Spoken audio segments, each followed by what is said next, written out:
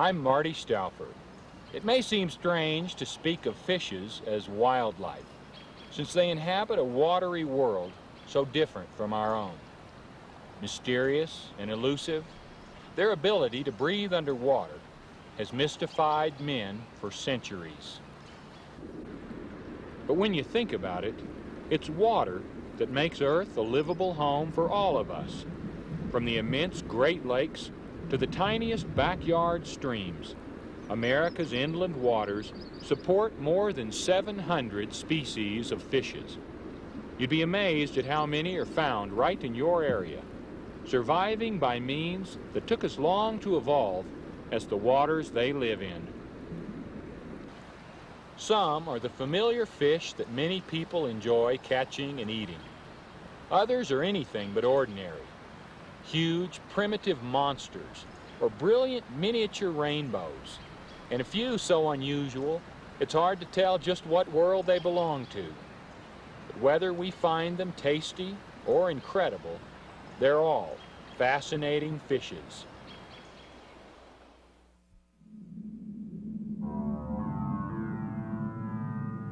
For most of us, the underwater world is as mysterious as another planet. Many of its inhabitants seem alien as well.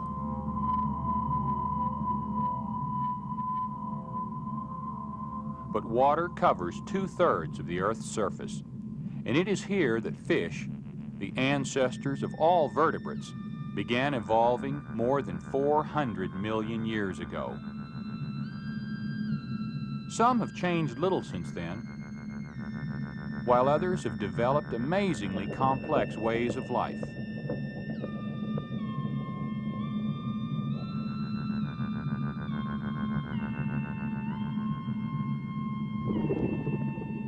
Many fish are hunters,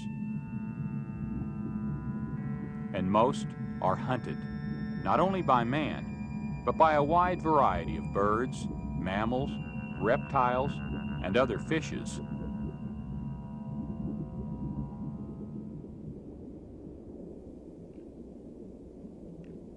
In the smallest pond or the largest lake, the shallowest brook or the most powerful river, each type of fish has a unique and useful place. Some fish feed along the bottom, others at the surface, and still others in between. Some, like these shiners and white bass, travel in schools with hundreds of their own kind.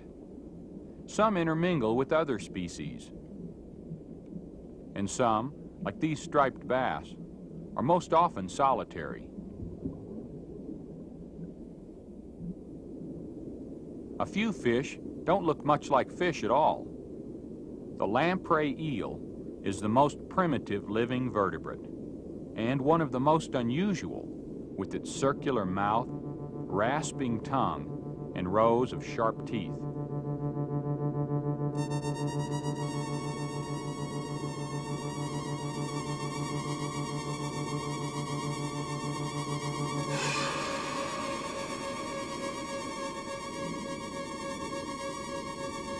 Parasitic lamprey lives by fastening itself to another fish, making a wound with its tongue, and sucking the vital fluids from its host. The lamprey lacks scales and true gills, and its skeleton is made of cartilage rather than bone, but nevertheless, it is a fish, just as much as its more ordinary host.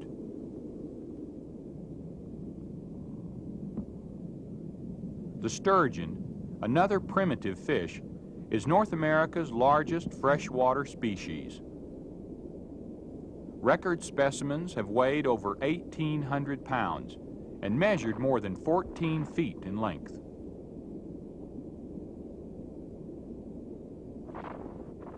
Unlike birds and mammals, fishes continue to grow as long as they live.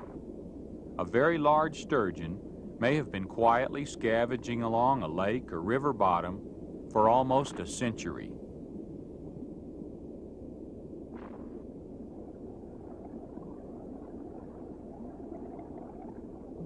The bowfin, with its full-length dorsal fin, is another living fossil. It has two breathing systems, gills for breathing underwater, and a swim bladder, which it fills by gulping air at the surface. Large and slow-moving, the gar waits near the surface for whatever the current might bring. This long-nosed gar is one of four archaic species common in the southeast. All of them, the spotted gar, the short-nosed gar, and the huge alligator gar, breathe through gills when active and use their swim bladders while basking near the surface of warm, oxygen-depleted waters.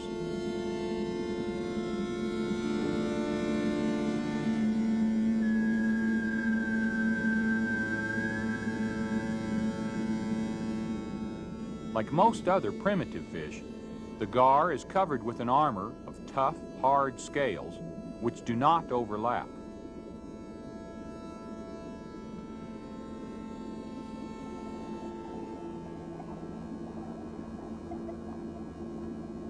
North America's most ancient large animal is the paddlefish. 50 million years before the first dinosaur appeared on Earth, this fish was already cruising with its enormous mouth wide open, straining plankton from the warm waters of inland seas. As those seas dried up, paddlefish adapted well to the great rivers that were gradually left behind, especially to our Missouri and Mississippi river basins.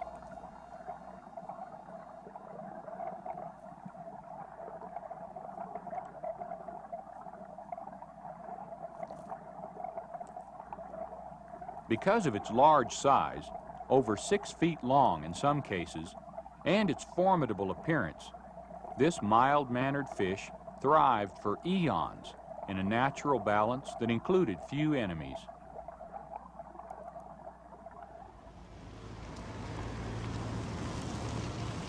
Then, along came civilization. Suddenly, the fate of these ancient creatures has become uncertain. In the late 1900s, paddlefish roe were valued as caviar, though their meat was then considered worthless. But by the turn of the century, unregulated commercial fishing had drastically reduced their numbers.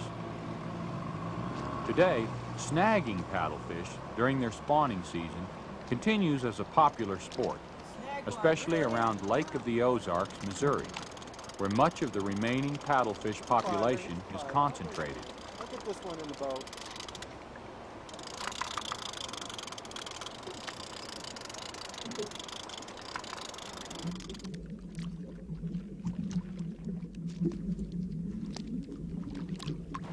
I got it. Boy, that's a big one.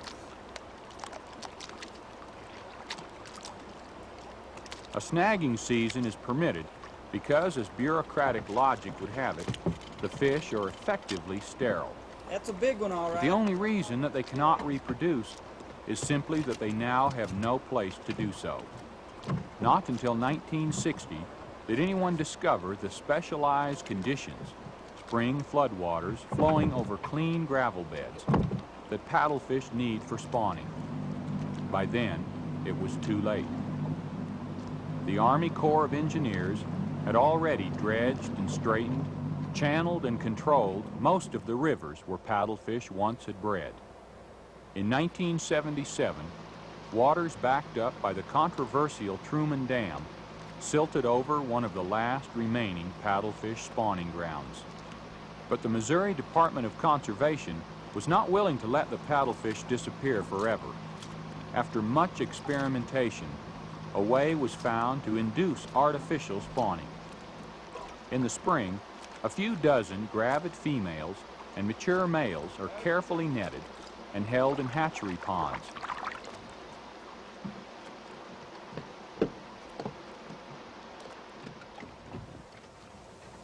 When it's judged that her eggs are ripe, a female is injected with hormones taken from the pituitary glands of snagged paddlefish. This injection causes the female to release her eggs, little by little, over a period of about 24 hours, much as she would in the wild.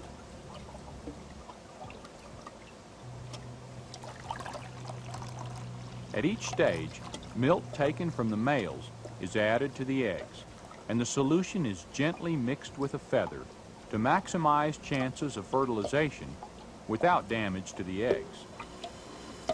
The fertilized eggs are carefully tumbled to simulate natural water conditions and to keep the highly adhesive eggs from sticking together.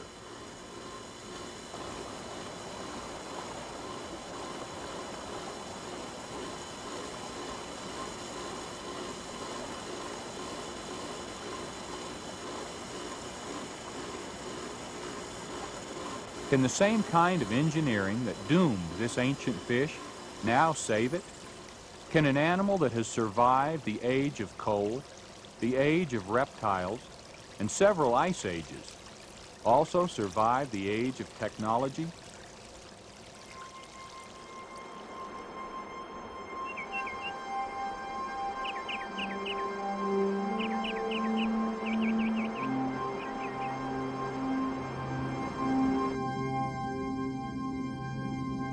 that our ingenuity and goodwill might help it to continue are a credit to our intelligence and our sense of responsibility.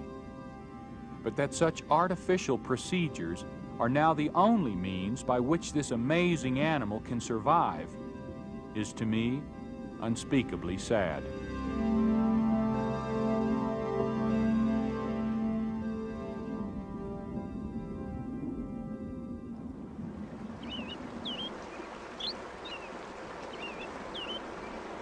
Fast-moving currents, most fish, like these minnows, are able to rise and sink at will by using their swim bladders, as well as their fins. The lack of an inflatable bladder restricts these darters to the bottom of streams where they live. The darters are another group of fishes whose habitat is restricted by special requirements.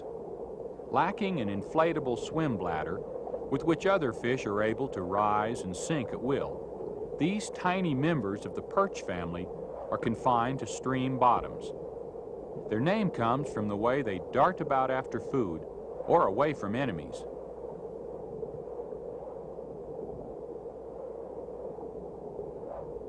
Throughout most of the year, both males and females are quite plain looking.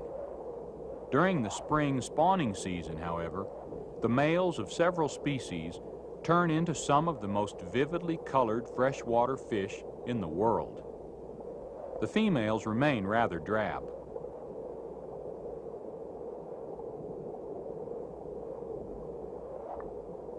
As with many animals and birds, and other fish, it is the male that gets the ornamentation. Biologists are just beginning to understand the vital role of these miniature rainbows in the ecology of healthy streams. Of the more than 125 North American species, most inhabit very regional streams in the eastern part of the country, from Florida and Louisiana, north to Pennsylvania, Ohio, and even Wisconsin. The tiniest fish in North America is called the least killifish.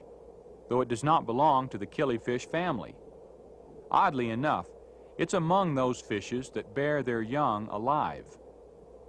It is closely related to the mosquito fish, another tiny live bearer with a reputation for consuming large numbers of mosquito larvae.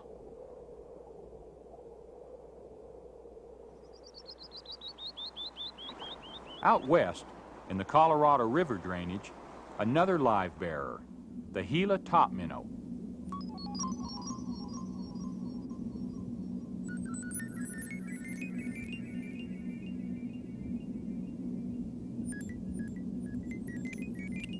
Live bearers produce far fewer young than do fish that lay thousands or even millions of eggs. A packet of sperm implanted by the male is kept inside the female and used to fertilize several broods over a period of months. The young emerge able to fend for themselves, but the odds are still stacked against survival. Many are eaten by their own relatives. But the reason they are threatened as a species is because of habitat destruction and introduced competitors which prey on their young.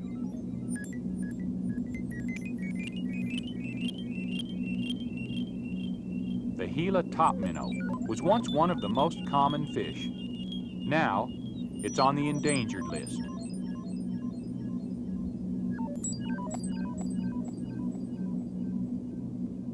Hopefully, some of these little ones will live to make their own contribution to the ecology of the few scattered springs where they're still found.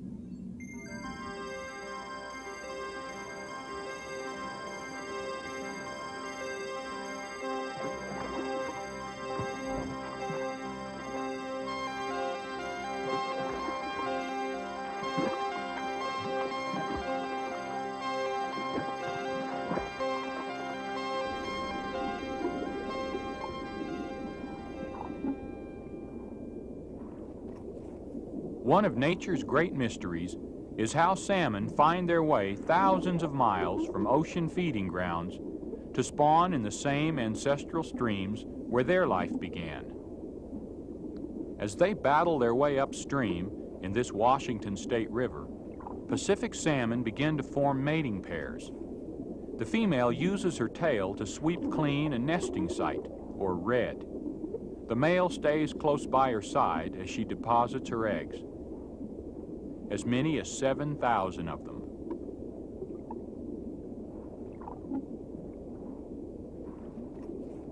Immediately, the male shudders as he releases the milt that will fertilize a new generation.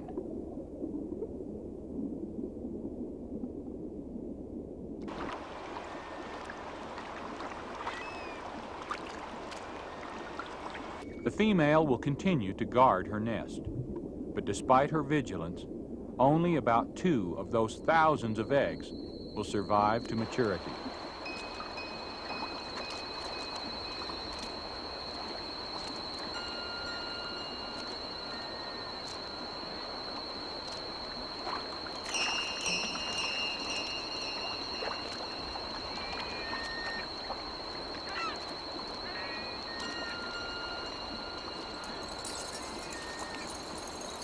For the Pacific salmon, male and female alike, there is only one journey up the river of life.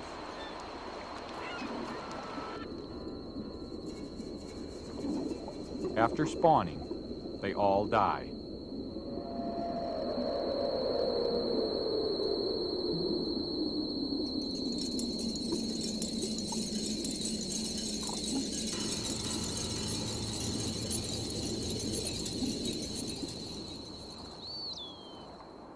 Here in Maine, Atlantic salmon are another of nature's mysteries.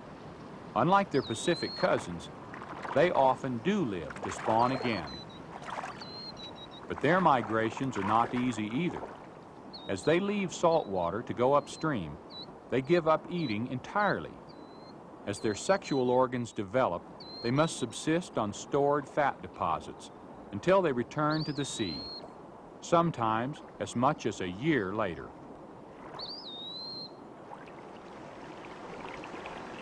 Man is not the only creature that alters the aquatic environment. Beaver dams create ponds which are home to certain fish that could not hold their own in faster flowing waters.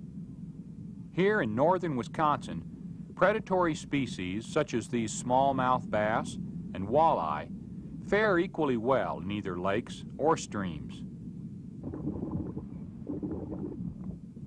This thinner fish, which looks like a walleye, is actually a sauger, a close relative. The walleye is so called because of the frosted look of its eyes.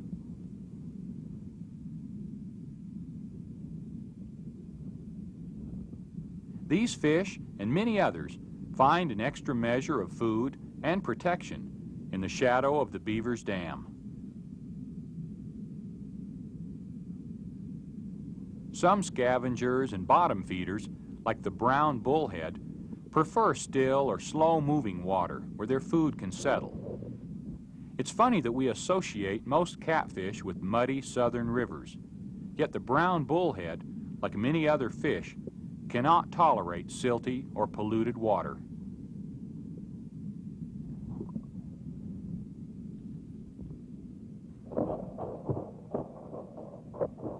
This common member of the catfish family is found all over the country east of the Mississippi, from Florida to Canada, and has been introduced into other areas as well. The bullhead feeds mostly at night, feeling around for its prey with its sensitive chin whiskers, or barbels. Totally omnivorous, it consumes dead matter, plants, insect larvae, mollusks, even small fish. And of course, as every child with a cane fishing pole knows, worms.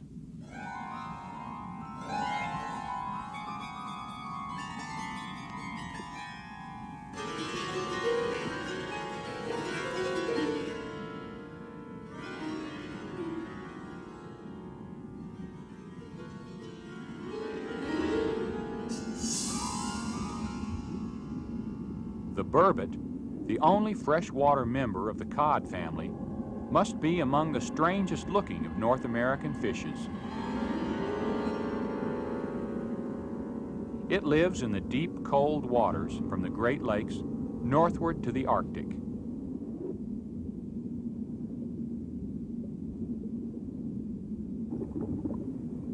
A voracious predator, the muskie is another cold water species. It sometimes finds itself in competition with the bluegill, the most common of the sunfishes.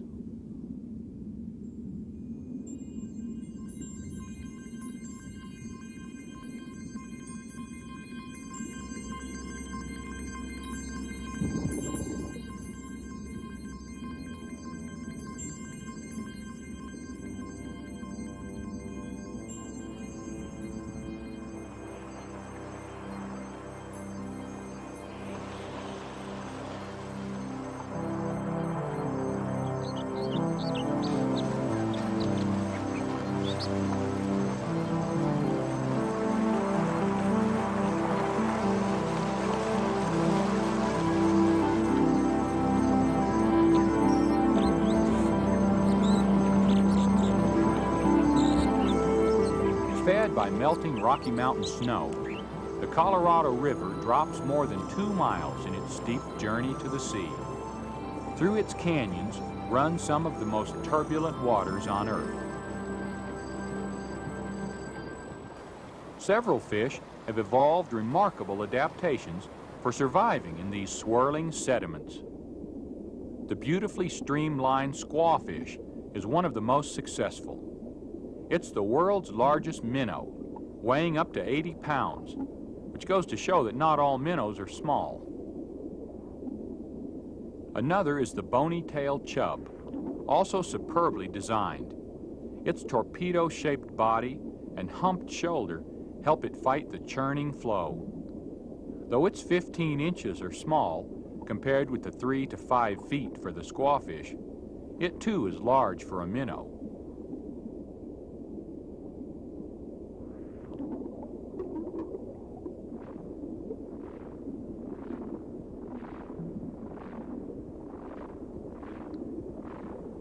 An unusual mouth and an even more pronounced hump characterize the razorback sucker.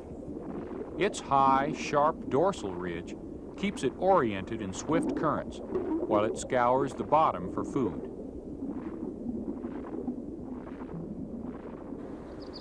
At the Dexter National Fish Hatchery in New Mexico, efforts are underway to save these fish, much in the same way that the paddlefish is being preserved.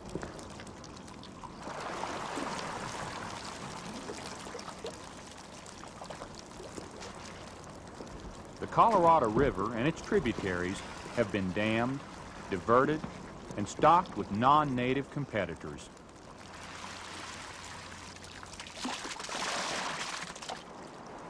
Its original inhabitants, these unusual fast water fishes, are now endangered. But preservation under artificial conditions is not enough.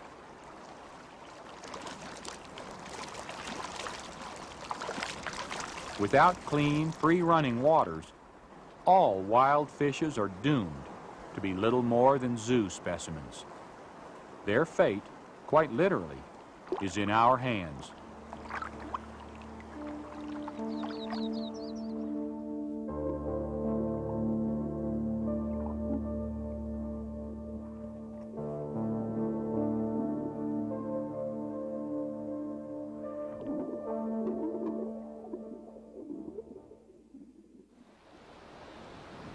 Fishes definitely qualify as wildlife. They normally thrive without human help, and they fight when caught. Like other creatures, they're also a real challenge to study in the wild. Fortunately, many of America's cities have a public aquarium where you can see, up close, what makes a fish a fish. Some of my favorites are in Chicago, Dallas, San Francisco, and the National Aquarium in Baltimore. There are others, and you should pay a visit to the one in your area. But these fish zoos must not become their only havens. Preserving the health of our free-flowing waters will ensure that they can continue living their submerged lives as fascinating fishes. I'm Marty Stouffer. Until next time, enjoy our wild America.